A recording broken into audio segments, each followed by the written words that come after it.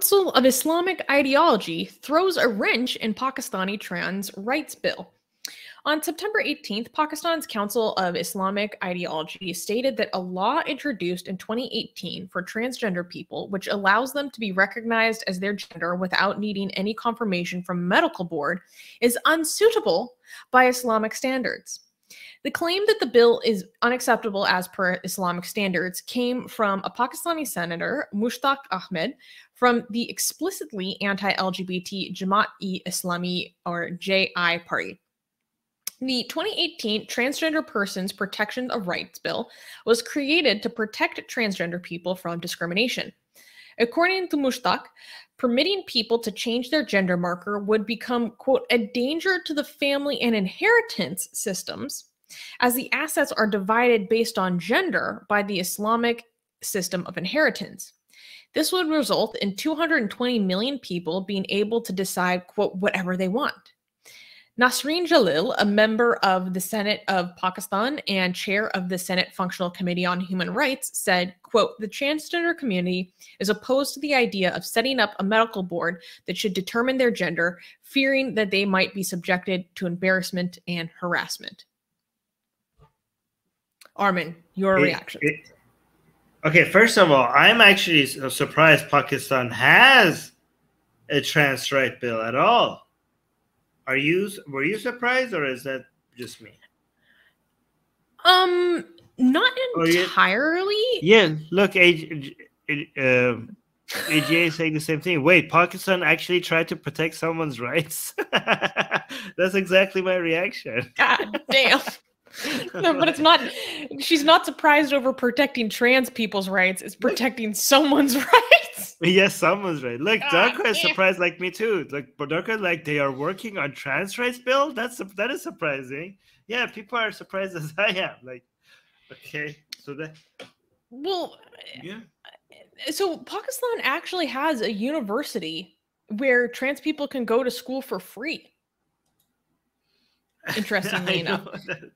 so they actually have oh a okay, bunch so of like great or not maybe a bunch, but they have some like wellness programs or resources um, available to the community, which yeah, it did surprise me. According to um, some polls or uh, senses, whatever, um, that are available, the transgender community in Pakistan is only a little over 10,000 people. But I kind of find that hard to believe in a country of 220 million. I would yeah. I would completely bet that the actual community is much larger than that. It's just a function of if you're in an environment that's safe enough for you to express yourself, um, which is a huge context in which people come out and actually express themselves and that, that's a whole other conversation where my gender studies degree is coming in. But um so with this what i thought was interesting was the role of the council of islamic ideology. And people can correct me if i'm wrong because i was trying to understand what is the role of this body in pakistan because to me that's almost like what's most interesting about this is the, the council of islamic ideology is basically a constitutional body in pakistan which has to give recommendations on the laws that are on the books the laws that are proposed and so forth and basically declare to what extent they are aligned with sharia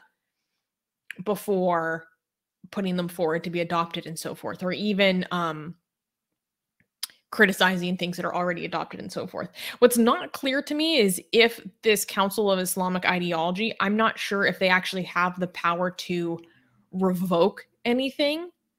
I'm not sure if they're simply a um have a, a recommending capacity or if they actually do have some power to veto things or do their own enforcements. Um but just the idea of having a council of Islamic ideology that has to review all your laws to be in compliance with Sharia is absolutely bonkers to me.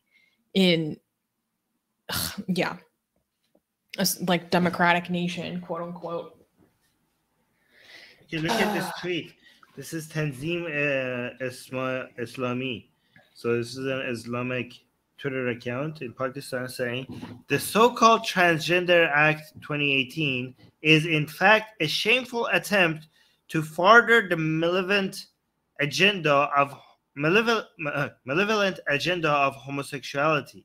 It is part of the evil social engineering program of the West. All un-Islamic clauses from the act must be removed. I don't think like this person understands Hom- what does homosexuality got to do with transgender? How could you? How is that related? I don't Are think they, confused? no, I think they see it as one and the same thing as a source of Western degeneracy. Okay. They're both sources people- of Western degeneracy and moral corruption in their eyes. I don't think that, like the the details about what distinguishes them probably isn't of any importance. Are these people protesting against the bill? Um, wait, let me guess see. yes. Let me pull this up. Yeah, these are people protesting against the transgender right bill. Yeah, we reject transgender act.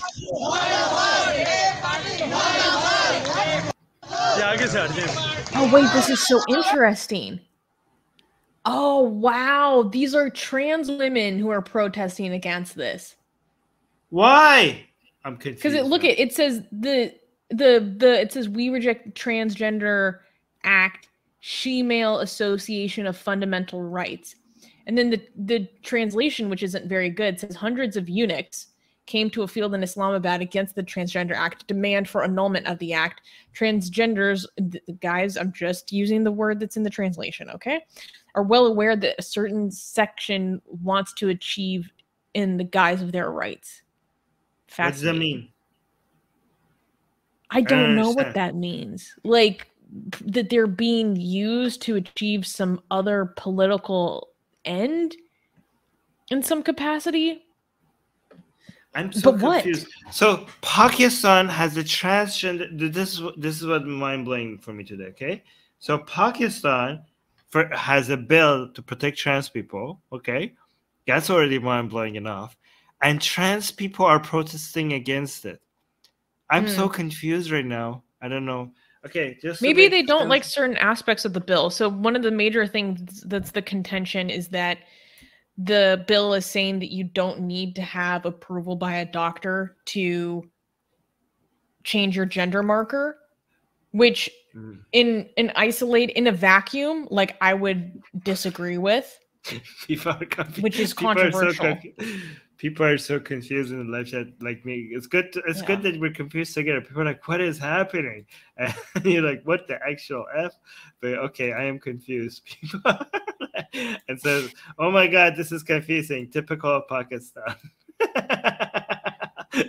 okay, but here's here's something that is less confusing. Let's go back to what we recognize. Okay, a Muslim guy burning burning the bill. Okay, that's what we're. Burn the Why does it LGBT Act. Why does it Oh have God. music? Oh my god, I have to turn it off. I don't know if the music is copyrighted, so I'm gonna turn it. Okay, burning the LGBT Act. I'm sure that that. I love fixes that they put flames on the hashtag. Yes, that's good. oh my god! Wait, wait, is it? Why does it have music? Okay. Great. You gotta really give that feeling, okay? Yeah. Okay. At least at least that makes sense to us. Um I think that yeah. I don't know. That's really interesting. I wonder why they're protesting it. I wonder if it has to do with the things in the bill about the medical board. I don't know. But the fact, okay, what I find interesting about why the Islamic side doesn't like this is because of the inheritance systems. Like, out of all the reasons that you don't like this, that's not what I was expecting. Because this is mostly surrounding contentions around trans women, right? But if you were transitioning to be a woman and changed your gender marker to female or woman, whatever, and then you would have less inheritance available to you under Islamic jurisprudence. So who would be ah. motivated to do that? Or maybe they're concerned about trans men, like females transitioning to male simply so that they can get a bigger inheritance. That's that's amazing if that's the reason. Is this what's going Um, on? I don't know. But here, look, Um, I agree. You need uh, to satisfy some medical body to be confirmed as trans. Though, okay, no, wait. I think people were. were that's not what I want to you. People don't want ins- inspections. Is that the reason that trans people are against that? Maybe that the bill I don't know. requires inspections, bodily. No, no, no. The re- the bill is removing the need to get met, removing the need to get confirmation from a medical board. Oh, so this might be that. some TERFs. This might be some trans TERFs that were like, oh, it might. No, this might be some trans medicalists, like some trans people that are like threatened. I'm just guessing here, spitballing. I have no idea if this is true. Okay, maybe there are some trans people that transition that they're thinking that this makes their transness put in question because now you're making anybody could say that they're trans, and now like because they had to go, they want people to. There are some trans medicalists that think that no, you can't be a trans unless you go through these steps. So maybe they're against the bills because they think they make it too easy for people to be called trans. But they have gone through so much to be trans. Maybe that's what it is. Well, first of all, that's not a really accurate description of a quote unquote trans medicalist stance.